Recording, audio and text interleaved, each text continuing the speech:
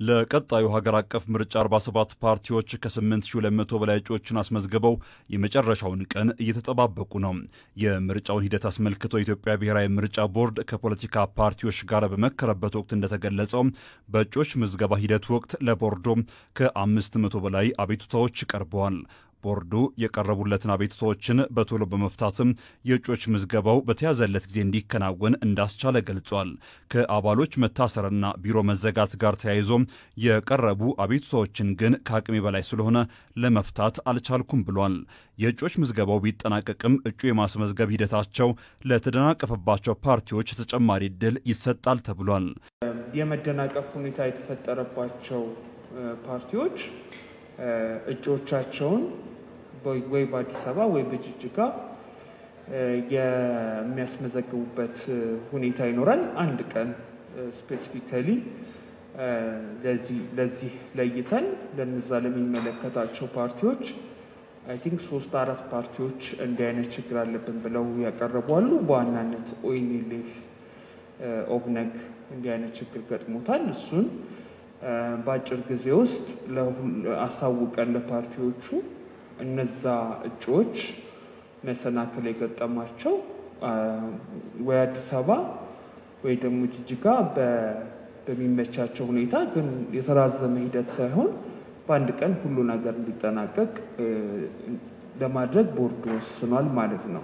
ከአቤቱታ ባለፈ ቦርዱ በድምፅ መስጫ ወረቀት ላይ እጩዎች የሚኖራቸውን ቅደም ተከተል በተመለከተም ከፖለቲካ ፓርቲዎቹ ጋር መክሯል። ለተወካዮች ምክር ቤትም እንደዛው እና እነዛ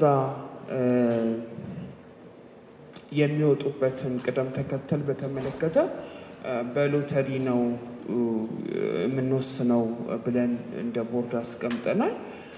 ይሄ ለምን አስፈለገ የሚለው ነገር ያው መጀመሪያ የሚመጣው ሰው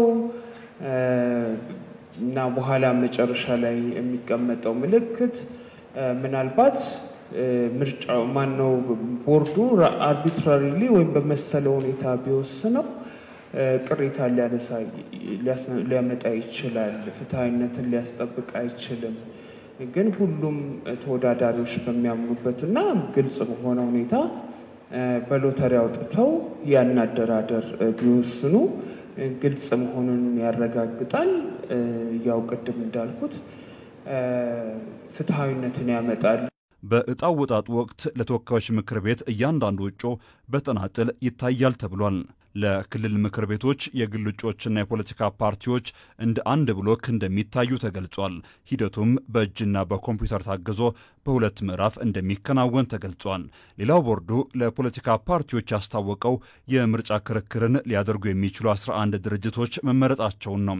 ፋና Broadcasting Corporate ን ጨምሮ የምርጫ ክርክር ለማካሄድ የተመረጡት ተቋማት አህዱ ቴሌቪዥን፣ OBN፣ ሴታዊት Movement፣ የኢትዮጵያ ሴቶች መብት ተሟጋች፣ የኢትዮጵያ ሰብአዊ መብት ጉባኤ፣ ኢሰመጉ፣ የኢትዮጵያ ሰብአዊ መብቶች ድርጅቶች ህብረት፣ Center for Disability and Development Association፣ የመሬት አስተዳደር ባለሙያዎች ማህበር፣ የ Economics Association እና Inter Africa Group ናቸው።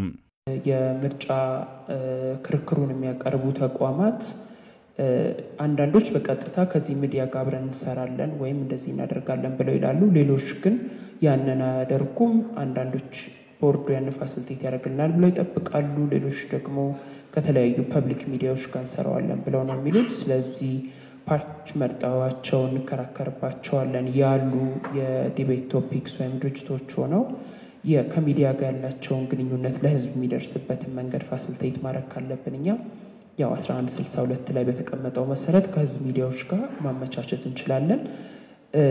ሌላው የአከራካሪዎችን እና የፓርቲዎችን በጋራ መነጋገሪያ ፋሲሊቴት ማድረጊያ ፎረም አስፈላጊ ከሆነ በእኛ በኩል የተመረጡት ላይ ማዘጋጀትም እንችላለን። የእኛ የህዝብ ግንኙነት ስራችን የምናጠናክርበት መራጮቻችን የምናገኝበት ስለሆነ ይመስለኛል ከብሮድካስት ጋር ተነጋግራችሁ ነው የምታሳውቁን ወይም ድልድሉ የሚነገረው ከፓርቲዎች የምርጫ ቅስቀሳ የአየር ሰዓት ጋር እንዴት አጣጥመን አጠቃላይ ስኬጁላችንም የሰው ኃይል ምደባችንም በክርክሮች ላይ መሳተፋችን አዋጭ የሚሆንባቸውን ነገሮች ሁሉ አስልተን ስለምንገባ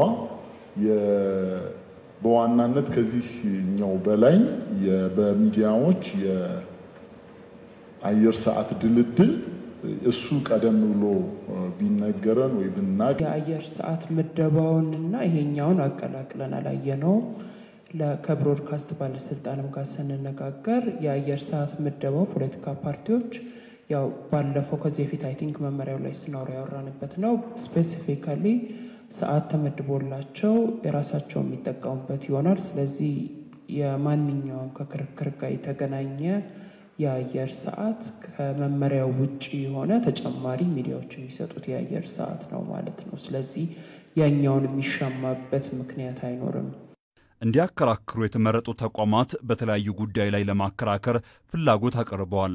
አንዳንዶቹም እስከ አስር ፓርቲ በአንድ ጊዜ ለማከራከር እቅዳቸውን አስገብተዋል። በጣም regulated የሆነ national debate እነዚህም በ civil society በሚዲያ የሚሄደውም ጥሩ ነው። ምርጫው ብዙ ቁም ነገር እንዲወራበት ያደርጋል። ግን በጣም ወሳኝ በሆኑ እንትኖች ቢደረግ ለአንድ ብዙ መስጠት እንትን አይመስለንም። የቢያንስ ቢያንስ እነሱ ብዙ አሁን የሚያዘጋጁ ድርጅቶች ብዙ ፓርቲ ሲያሳትፉ ጥሩ ሊሆን ይችላል። ከ voters interest ግን አንጻር ግን አስር ፓርቲ ተሳትፎ ምን ያክል ያደርጋል የሚለው ለምርጫ ቦርድ ያሳስበው ይገባል። ቦርዱ እናከራክራለን ያሉ ድርጅቶች ለማከራከር ያቀረቡት ሀሳብና መንገድ በቀጣይ ከፖለቲካ ፓርቲዎች ጋር በመነጋገር የሚወሰን እንደሆነ አስታውቋል።